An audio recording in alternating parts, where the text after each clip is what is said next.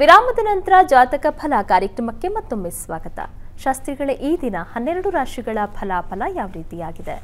ಹನ್ನೆರಡು ರಾಶಿಗಳ ಫಲಾಫಲ ತಿಳಿಯುವ ಮುನ್ನ ಈ ಹೊತ್ತಿನ ಗ್ರಹಸ್ಥಿತಿಯನ್ನು ಗಮನಿಸಿಕೊಳ್ಳೋದಾದರೆ ಮೇಷರಾಶಿಯಲ್ಲಿ ರಾಹು, ಬುಧ, ಯುತಿ ಇರತಕ್ಕಂಥದ್ದು. ವೃಷಭ ರಾಶಿಯಲ್ಲಿ ಶುಕ್ರ, ಮಾಂದಿಯರು ಒಟ್ಟಾಗಿದ್ದಾರೆ. ಇನ್ನು ಮಿಥುನ್ ರಾಶಿಯಲ್ಲಿ ಕುಜ, ತುಲಾ ರಾಶಿಯಲ್ಲಿ ಕೇತು. ಈ ದಿವಸ ಮಕರ ರಾಶಿಯಲ್ಲಿ ಚಂದ್ರ ಕುಂಭರಾಶಿಯಲ್ಲಿ ಶನಶ್ಚರ ಮೀನರಾಶಿಯಲ್ಲಿ ಗುರು, ರವಿಯರ ಯುತಿ. ಹೀಗಿರುವಾಗ ಹನ್ನೆರಡು ರಾಶಿಗಳ ಫಲಾಫಲ ಹೇಗಿರ್ತದೆ? ಗಮನಿಸ್ಕೊಳ್ಳೋಣ ಮೊದಲಿಗೆ ಮೇಷರಾಶಿ. ಮೇಷರಾಶಿಯವರಿಗೆ ದಿವಸ ನೋಡಿ, ವೃತ್ತಿಯಲ್ಲಿ ಅನುಕೂಲ ಇದೆ. ಸ್ತ್ರೀಯರಿಗೆ ಬಲ ಖಂಡಿತ ಇದೆ. ಅದರಲ್ಲೇನು ಸಂಶಯ ಇಲ್ಲ.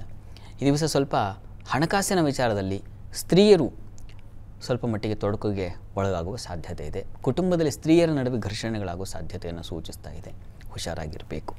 ಸ್ವಲ್ಪ ಸಮಾಧಾನವಾಗಿರಿ ಈ ದಿವಸ. ಆ ಆತುರಕ್ಕೆ ಬಿದ್ದು ನೀವು ನಿರ್ಣಯಕ್ಕೆ ಬಂದುಬಿಡಬೇಡಿ. ಸಮಾಧಾನವಾಗಿ ಆಲೋಚಿಸಿ, ಮಾತನಾಡಿ, ಆಲೋಚಿಸಿ, ವ್ಯವಹರಿಸಿ ಕುಟುಂಬದ ಮಟ್ಟಿಗೆ ಅದು ಬೇಕಾಗಿದೆ ಈ ದಿವಸ. ಉಳಿದ ಹಾಗೆ ವೃತ್ತಿ ಇತ್ಯಾದಿ ಎಲ್ಲ ಚೆನ್ನಾಗಿದೆ, ಆತಂಕ ಬೇಡ.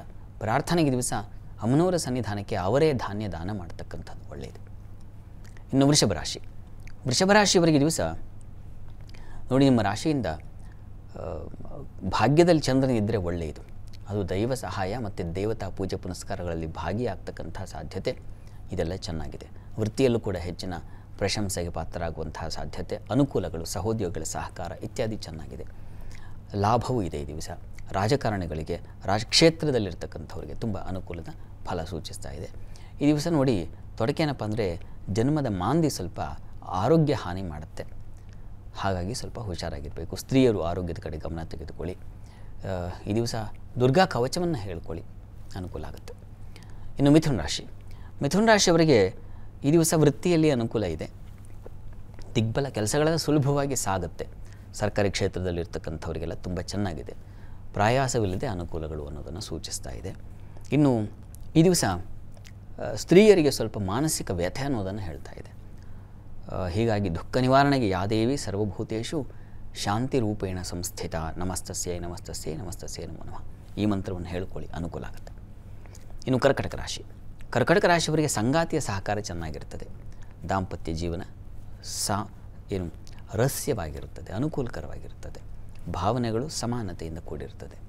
ಈ ದಿವಸ ವೃತ್ತಿಯಲ್ಲಿ ವೃತ್ತಿಯಲ್ಲಿ ಕೂಡ ಹೆಚ್ಚಿನ ಸೌಖ್ಯ ಕಾಣಲಿಕ್ಕೆ, ಸಮಾಧಾನ ಕಾಣಲಿಕ್ಕೆ ಅವಕಾಶ ಇದೆ. ಸ್ವಲ್ಪ ಮಟ್ಟಿಗೆ ಆಲೋಚನೆಗಳು, ಬುದ್ಧಿ ಸ್ವಲ್ಪ ತೊಡಕ, ತೊಡಕಾಗಬಹುದು, ತೊಡರಾಗಬಹುದು.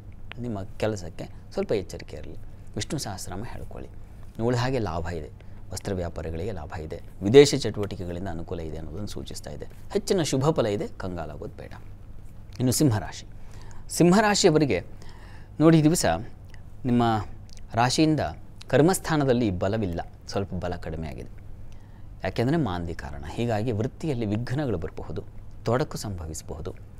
ಸ್ತ್ರೀಯರಿಗೆ ಕೆಲಸದ ಆ ಸ್ಥಳದಲ್ಲಿ ಸ್ವಲ್ಪ ಕಿರಿಕಿರಿ ಉಂಟಾಗುವ ಸಾಧ್ಯತೆ ಸೂಚಿಸ್ತಾ ಇದೆ. ಹುಷಾರಾಗಿರಿ. ಕೆಲಸವನ್ನು ನಿಮಗೇನು ಕೆಲಸ ಇದೆಯೋ, ನಿಮ್ಮ ಪಾಲಿಂದ ಎಷ್ಟೋ ಅಷ್ಟನ್ನು ಮಾಡೋದು ಶ್ರದ್ಧೆಯಿಂದ ಮಾಡಿ, ಗಮನ ಇಟ್ಟು ಮಾಡಿ. ಉಳಿದ ಹಾಗೆ ದಿವಸ ಸ್ವಲ್ಪ ವಿರೋಧಗಳು ಬರೋ ಸಾಧ್ಯತೆ ಇದೆ. ಸಾಲದ ಸಾಧ್ಯತೆಯನ್ನು ಸೂಚಿಸ್ತಾ ಇದೆ. ಸ್ವಲ್ಪ ಹುಷಾರಾಗಿರಬೇಕು ಈ ದಿವಸ. ನಿಮ್ಮ ರಾಷ್ಟ್ರಾಧಿಪತಿ ಕೂಡ ಸ್ವಲ್ಪ ಅವನಿಗೆ ವಸ್ತುತಃ ಈ ದಿವಸ ಪರಿವರ್ತನೆ ಆಗ್ತಾ ಇದೆ. ಹೀಗಾಗಿ ಅವನ ಪರಿವರ್ತನೆಯಿಂದ ನಿಮ್ಮ ನಿಮ್ಮ ಬದುಕಿಗೆ ಒಂದು ಆರೋಗ್ಯದ ಬಲ ಅನ್ನೋದು ಖಂಡಿತ ಬರುತ್ತೆ. ಹೀಗಾಗಿ ಯೋಚನೆ ಮಾಡೋದು ಬೇಡ. ಚೆನ್ನಾಗಿದೆ. ಪ್ರಾರ್ಥನೆಗೆ ಈ ದಿವಸ ಈಶ್ವರನ ಆರಾಧನೆಯನ್ನೇ ಮಾಡಿ. ಇನ್ನು ಕನ್ಯಾ ರಾಶಿ. ಕನ್ಯಾ ರಾಶಿಯವರಿಗೆ ದಿವಸ ನೋಡಿ ಸೂರ್ಯನ ಪರಿವರ್ತನೆ ಅಷ್ಟಮಕ್ಕೆ ಬರ್ತಾ ಇದ್ದಾನೆ. ಹೀಗಾಗಿ ಆರೋಗ್ಯದ ದೃಷ್ಟಿಯಿಂದ ಸ್ವಲ್ಪ ಎಚ್ಚರವಾಗಿರಬೇಕು. ಆತನ ಬಲಿಷ್ಠನಾಗಿದ್ದಾನೆ ಇಲ್ಲ ಅಂತಲ್ಲ, ಆದರೆ ಸ್ವಲ್ಪ ಗಮನ ಹರಿಸಬೇಕು. ಇನ್ನು ಉಳಿದ ಹಾಗೆ ಚಂದ್ರ ಚೆನ್ನಾಗಿದ್ದಾನೆ, ಬುದ್ಧಿಬಲ ಚೆನ್ನಾಗಿರುತ್ತೆ, ಸ್ತ್ರೀಯರಿಗೆ ಹೆಚ್ಚಿನ ಅನುಕೂಲ, ಮಕ್ಕಳಿಂದ ಸಹಾಯ, ವೃತ್ತಿಯಲ್ಲೂ ಕೂಡ ಹೆಚ್ಚಿನ ಬಲವನ್ನು ಕಾಣಲಿಕ್ಕೆ ಅವಕಾಶ ಇದೆ. ಸ್ವಲ್ಪ ಮಟ್ಟಿಗೆ ತಂದೆ ಮಕ್ಕಳಲ್ಲಿ ಭಿನ್ನಾಭಿಪ್ರಾಯ ಬರಬಹುದು ಈ ದಿವಸ. ಆ ಲಕ್ಷಣ ಇದೆ. ಹೀಗಾಗಿ ಅಮ್ಮನವರ ಸನ್ನಿಧಾನಕ್ಕೆ ಹೋಗಿ ಒಂದು ಪೂಜೆಯನ್ನು ನೆರವೇರಿಸಿ ಅದು ನಿಮಗೆ ಬಲ ಕೊಡುತ್ತೆ.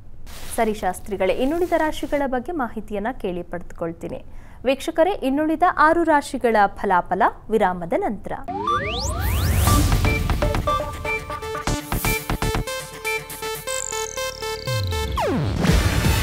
ಇದು ಏಷ್ಯಾನೆಟ್ ನ್ಯೂಸ್ ನೆಟ್ವರ್ಕ್ ಪ್ರಸ್ತುತಿ. ನೀವು ನೋಡ್ತಿದ್ದೀರಾ ಏಷ್ಯಾ ನೆಟ್ ಸುವರ್ಣ ನ್ಯೂಸ್.